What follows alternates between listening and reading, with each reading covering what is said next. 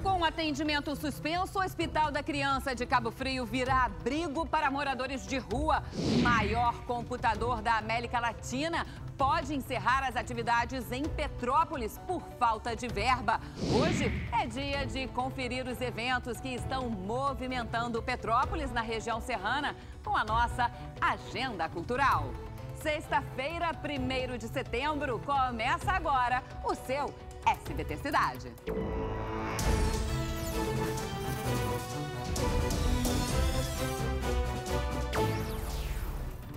Boa noite. Eu, Karine Cerqueira, hoje estou com você e vamos juntos até esbarrarmos no SBT Brasil com as principais notícias do interior do estado. E começamos hoje com uma denúncia na região dos Lagos. Em Cabo Frio, o Hospital Municipal da Criança, uma referência na região, está abandonado e hoje já virou dormitório para moradores de rua. Eles, os moradores da região, pedem o retorno da unidade. Vamos ver na reportagem de Bárbara Stork.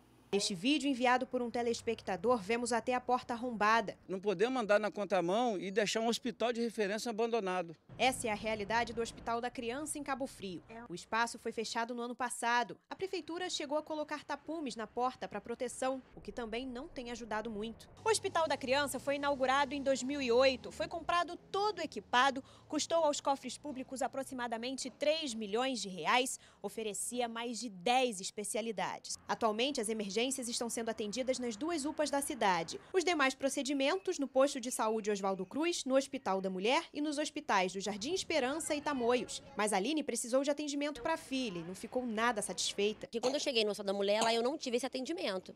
Eu, na verdade, eles me falaram, olha, o seu atendimento é na UPA. E eu fui para a UPA e lá eu tive um atendimento muito superficial. O secretário de Saúde, Roberto Pilar, diz que a previsão para a reinauguração do Hospital da Criança é para 2018. Afirma ainda que a intenção é regionalizar a unidade.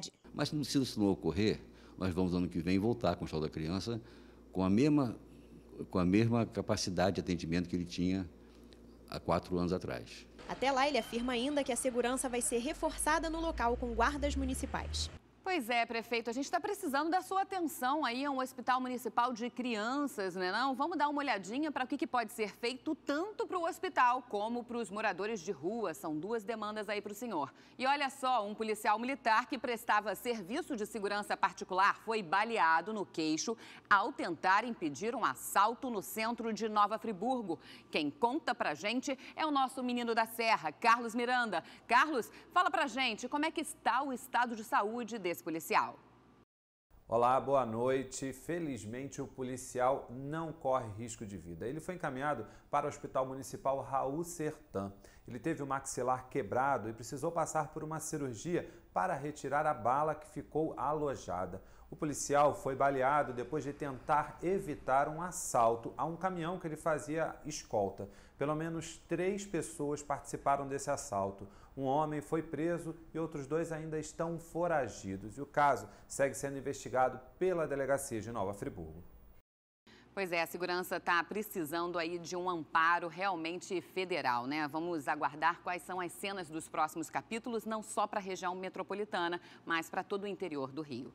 E mais um prejuízo na área científica do Brasil está a caminho. O maior computador da América Latina, o supercomputador Santos Dumont, que fica em Petrópolis, aqui no estado do Rio de Janeiro, pode ser desligado por falta de verba. A máquina processa mais de 100 pesquisas envolvendo doenças como a Zika, o Alzheimer e o câncer. Vamos ver. O desenvolvimento do país ameaçado pelo desligamento de um supercomputador.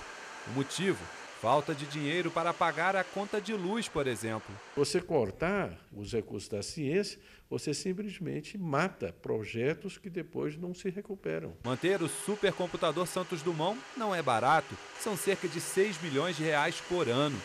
Só de energia elétrica são 250 mil por mês. Mas o investimento é necessário.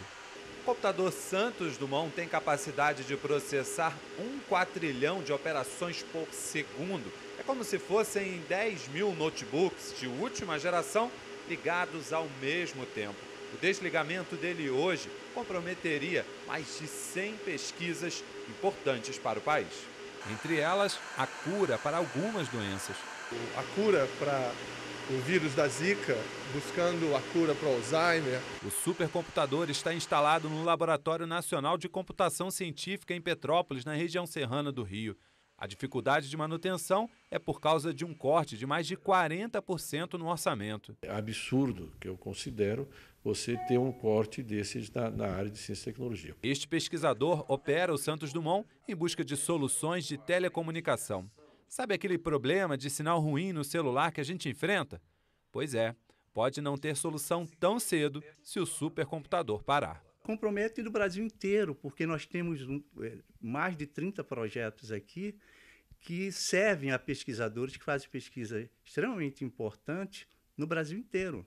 E um grave acidente envolvendo cinco carros aconteceu na praia do Siqueira, em Cabo Frio. Apesar das imagens e do impacto da batida, ninguém ficou ferido. Vamos ver os detalhes com ela, Daiane Zanelato. O acidente aconteceu no início da noite de ontem. Um carro capotou após o motorista perder o controle do veículo e bater em um outro carro na ponte Wilson Mendes, na Praia do Siqueira. Segundo o Corpo de Bombeiros, outros três carros se envolveram na colisão. Duas pessoas precisaram ser socorridas e encaminhadas para um hospital com ferimentos leves. O trânsito chegou a ser interrompido no local, mas após o atendimento às vítimas foi liberado. Pois é, e no próximo bloco a gente tá junto, não saia daí, mais uma denúncia de Barra do Piraí. Dessa vez a gente vai mostrar uma creche completamente abandonada. Eu te espero.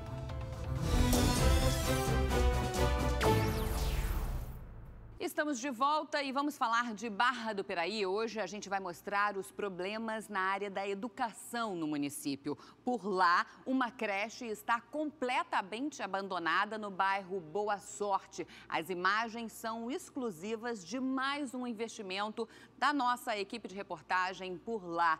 O posto é, de saúde, onde fica, está faltando anestesia, fica no mesmo bairro, em Boa Sorte. E por lá, bem pertinho do centro, onde o prefeito está instalado, 5 quilômetros, parece que não há mais atenção. Vamos dar uma olhadinha como é que as crianças ficam sem uma creche lá no local. Quem mora no bairro Boa Sorte, em Barra do Piraí, não tem onde deixar as crianças para ir trabalhar. A única creche da localidade está desativada há três anos. O SBT conseguiu imagens exclusivas que mostram o total abandono do espaço. Os portões ficam abertos e qualquer pessoa consegue entrar no prédio. Do lado de fora, mato alto e brinquedos se deteriorando. Por dentro, muita sujeira, rachaduras e infiltrações. Segundo os moradores, há uma creche em um bairro vizinho, mas por lá não há vagas. A única alternativa é uma creche que fica no centro da cidade, mas a distância prejudica a rotina dos pais. Os moradores se sentem indignados com o descaso do poder público. Pois é, prefeito, parece que tem muito problema aí pela cidade, né? A gente está de olho, é melhor o senhor colocar a mão na massa. E mais uma vez, profissionais da educação em Petrópolis fizeram uma manifestação. Eles pleiteiam pela redução da carga horária de 40 horas para 30 e o reajuste salarial de 11%, somando os reajustes de 6 e 5% dos dois últimos anos consecutivos. Vamos ver na reportagem de Carlos Miranda. Quem quer 30 horas? Um decreto chegou a ser votado e aprovado pela Câmara de Vereadores, oferecendo as 30 horas aos profissionais, mas foi questionado pelo Ministério Público. A Prefeitura, então, tentou atender a reivindicação da categoria por meio de um projeto de lei, mas que até hoje não foi votado.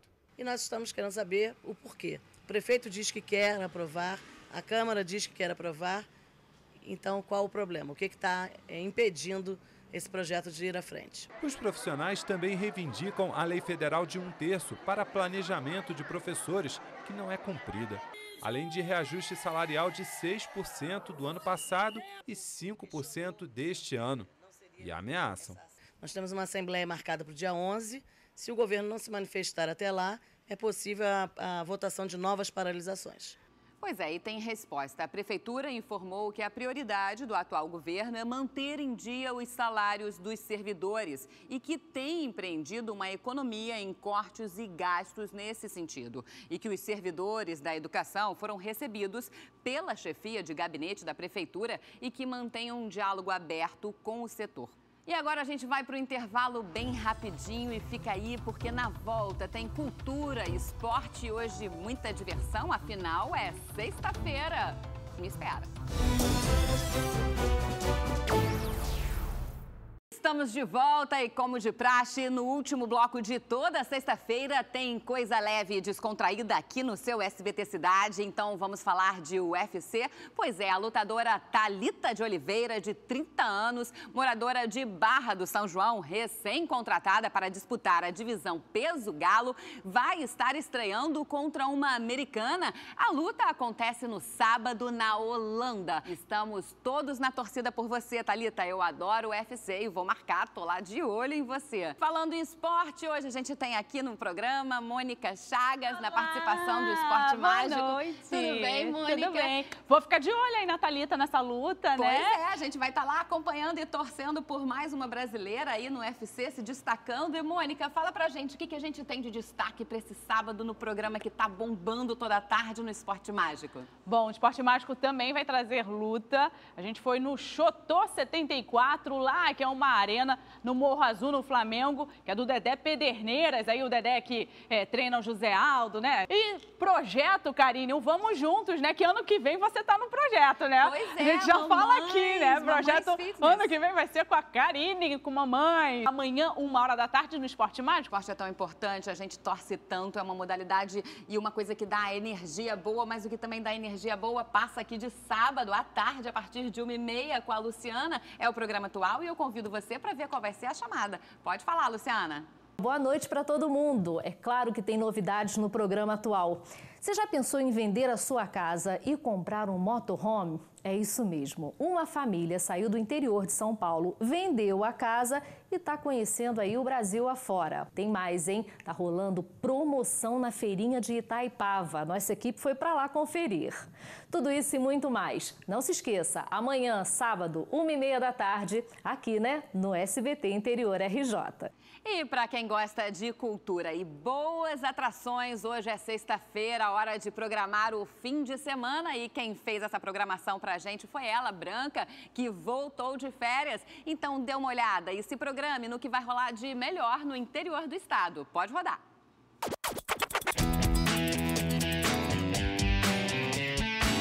Está em cartaz nos cinemas a animação Emoji. O filme se passa em Testópolis, a cidade dos emojis, aqueles desenhos que a gente usa em conversas do WhatsApp. Todos eles, nessa cidade, têm um sonho em comum: serem usados nos textos dos humanos. Eu tenho muitos sentimentos. De repente era mesmo para eu expressar mais do que uma emoção. Onde é que eu tô? Candy Crush. Divina, docinha, gostosa, deliciosa.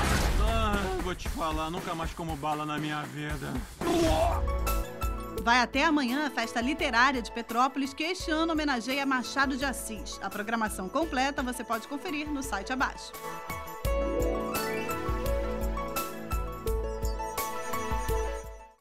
Mas para quem gosta de boa comida, olha só essa pedida em Cabo Frio. Começou a terceira edição do Festival de Sabores. Mais de 50 restaurantes vão estar reunidos no evento. Então, vamos para lá, para a redação da região dos lagos, conversar com a Daiane Zanilato. Olha aqui ela já no telão. Daiane, conta pra gente o que, que vai ter de gostoso aí, que eu já tô ficando com água na boca. E qual a novidade desse ano, Daiane?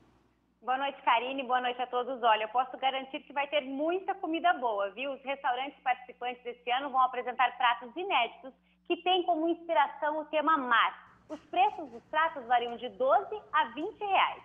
A programação inclui também aulas com chefes de restaurantes locais, ensinando as receitas do, do festival degustações e aulas com chefes convidados. E o Espaço Parque Gourmet, montado na praça de eventos do Shopping Parque Lagos, é mais uma atração confirmada nesse ano. E a grande novidade, Karine, em 2017, é um concurso que irá eleger as melhores receitas do evento. Um corpo de jurados irá escolher os ganhadores nas categorias Melhor Entrada, Melhor Prato Principal e Melhor Sobremesa. A terceira edição do Festival de Sabores de Cabo Frio começou hoje e segue até o dia 1 de outubro.